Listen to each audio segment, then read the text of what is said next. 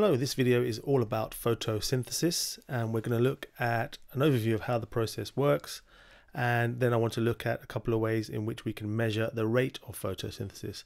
But to start off with, we can look at the word itself, which is broken down into photo and synthesis. Photo means light and synthesis means to make. And what is it the plant is making? It's food. Photosynthesis, as you know, is linked to plants.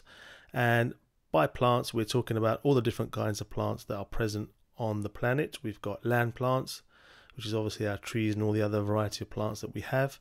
But we also have plants that are found in water, and they carry out the same process as well. But we also have another kind of living thing called algae. And algae is a microscopic living thing, and we describe that as photosynthetic as well. And the type of living thing is a protist, and that's we've looked at that in a, another video.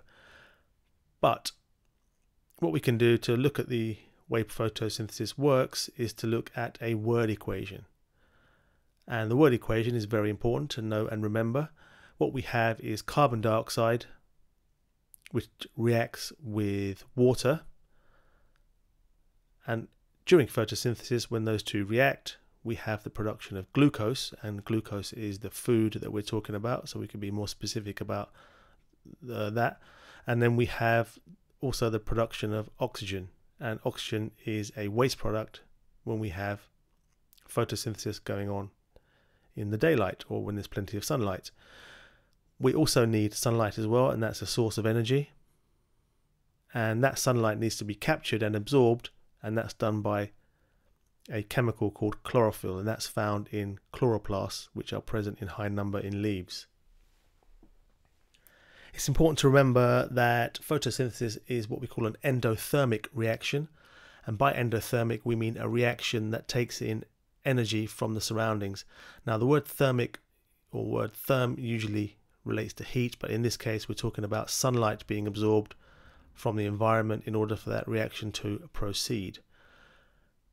We can also um, look at a formula equation, so we could quite simply change these into their formulas or formulae. Carbon dioxide is CO2, water is H2O, glucose will do in a sec, oxygen, as you probably know, is O2. Okay, but in terms of glucose, we've got carbon, hydrogen, and oxygen present because it's a carbohydrate, and we can just add the number 6, 12, and 6. You should at the very least be able to recognize that that, that is glucose. We can then add in our arrow as we did above. Uh, I'm not going to write in sunlight and chlorophyll again, but let's just add the arrow there.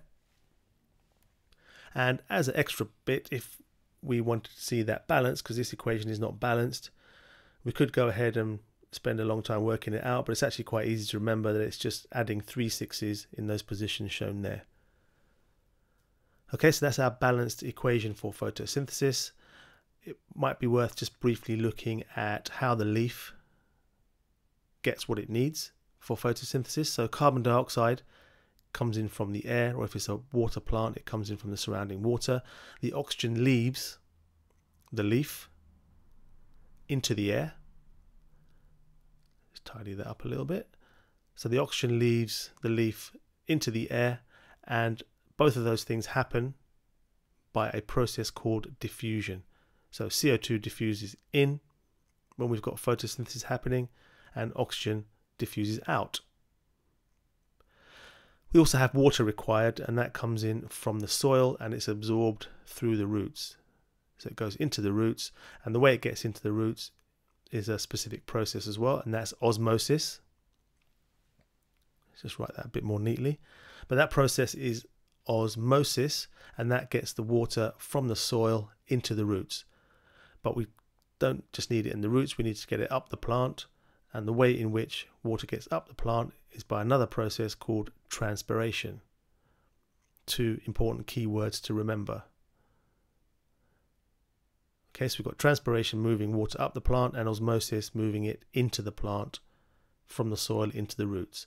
Okay, so that's an overview of how the uh, photosynthesis actually works through that through our word equation. But what I want to look at now is how we can actually measure the rate of photosynthesis.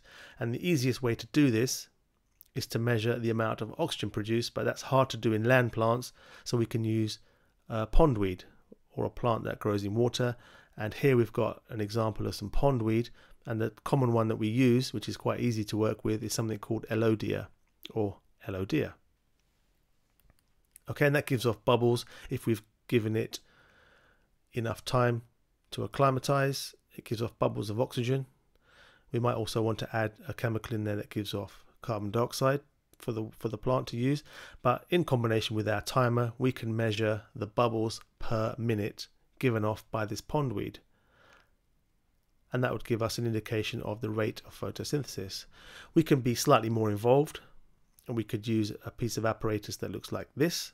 So we've got a funnel and that's linked up to an inverted or an upside down measuring cylinder and as you can see, we've got the plant, the pondweed at the bottom, photosynthesizing away, and those bubbles collect at the top. And we can actually measure the volume of bubbles, which would be given by this apparatus in centimeters cubed. So using our timer as well, we would have centimeters cubed per minute, which would be a suitable rate to use for measuring photosynthesis. We can get involved further still and use a slightly more tricky or complicated piece of apparatus and it looks like this. We have our plant photosynthesizing away, but we have a long tube filled with water with a syringe at the end, which is continuous with the water in our boiling tube. The bubbles collect at the top of our tube over here. And if we pull our syringe out after our uh, period of time, we can move that bubble down to the flat part of the tubing there. And there we have a measuring scale. And when we see apparatus like this, the scale is often calibrated or the, the units are often in millimeters cubed. And therefore our rate for this would be millimeters cubed per minute. Okay, so there we have three different ways of measuring the rate of photosynthesis. It's probably important just to highlight the fact that the production of oxygen gives us an indication of how fast photosynthesis is actually going. The more oxygen produced in a certain amount of time, the faster the rate of photosynthesis. And the easiest way to do it is using is using uh, pondweed because the bubbles are much more easy to detect and measure. Okay, so now what we can do is actually look at how we might set up an experiment to do this. And it might look something like this. We're going to look at one of two, we're going to look at two ways in which we can do this. In our first experiment, we've got our pondweed and a lamp and a timer. We're measuring bubbles per minute and for light intensity in arbitrary units, we're going to use a lamp and what we can do is change the voltage of the lamp and that will give us different light intensities.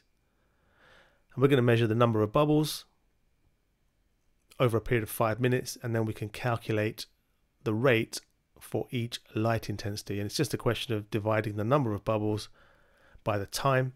So I can do the first one there for you. So it's 0 divided by 5. So if there's 0 light, we can have 0 photosynthesis, and our rate would be 0 bubbles per minute.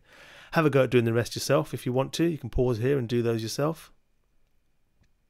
But if not, just hang on there and um, I'll have them all done for you.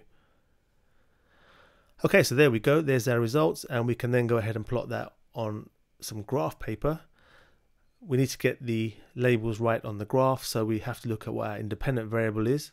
And in this case, it's our light intensity. And our dependent variable, the thing we're measuring, is the rate of photosynthesis given by bubbles per minute. So let's just add those in to the graph. There we go. And then we can go ahead and plot light intensity versus rate of photosynthesis in bubbles per minute. So let's just uh, put those in on the graph. So 0 is 0, 10 goes up to 0 0.8, which is about there. 20 is 2.4, about there. It's not the best piece of graph paper there I've used, but we can get accurate enough, an accurate enough graph. 40 is there, 50 is at 6, and 60 is at 6 also. And we have our graph, we have the points which we can join with a curve of best fit. And that shows us then that the higher the light intensity, the faster the rate of photosynthesis until we reach a maximum. and the maximum is shown by the flat bit or supposed to be a flat bit at the top there and that's at six bubbles per minute okay so that's one way we can measure or do I experiment on the rate of photosynthesis as affected by light intensity but there's another way in which you can do it. This is a required practical. You may or may not have done this in class but you certainly should have had a go at it. And we're looking at the distance of the lamp versus the rate of photosynthesis. In this case we're using a slightly more accurate apparatus and we're measuring in millimeters cubed per minute. So the important key thing to remember here is that the bigger the distance of the lamp from the plant, the lower the light intensity. So the distance of the lamp is linked closely to the light intensity. Okay, so just highlight those two there just so we know. And the way we do this is we have the lamp close, we allow the plant to acclimatize for a few minutes, get used to that light intensity, and then we measure bubbles for every five minutes, and then we change to 10 to 20 to 30, and so on, each time allowing the rate of photosynthesis to level off. And then again, we can measure the rate. We can do that by uh, dividing the volume of oxygen by the time, which is in uh, five minutes in this case. And again, we can work all those out. You can have a go at doing that yourself.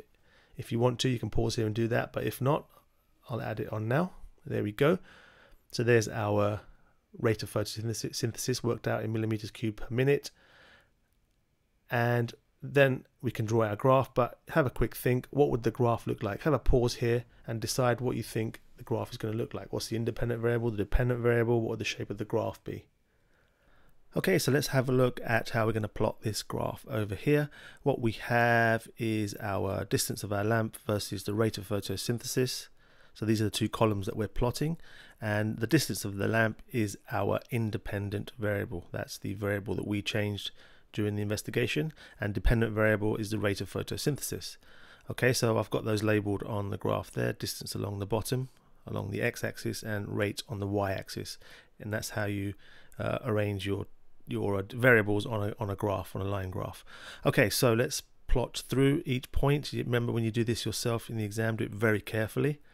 I'm going through this quite quickly now just so you don't have to watch me plot the points but I'm being very careful to make sure each point is correct. Once you've done that you can see that the lines naturally fall in a curve so you can draw your curve of best fit. Remember these graphs the lines are not always straight when you draw a line of best fit it could be a curve of best fit as well but with curves they're slightly more tricky to draw so draw very carefully so here we go join up the points. Okay, I think I've uh, missed that one there. Let's just have another go. Okay, that's even worse. Uh, let me just do this properly and I'll come back. Right, there we go. So there's the curve of best fit. There is a point there that's slightly out, but if I join that up, it would have given a slight hump in the at the end uh, towards the end there. So that looks like it's an outlier. Um, so yes, there's our graph. Uh, we've done, we've had we've looked at two ways. We've um, changed the light intensity by changing the voltage. In fact, for voltage, potential difference is probably a better word to use, but it means the same thing. And then we've also looked at changing the light intensity by changing the distance of the lamp. Okay, so that's um, some important skills and information that we need for our uh, GCSE biology. Thank you for watching, and I'll see you again soon.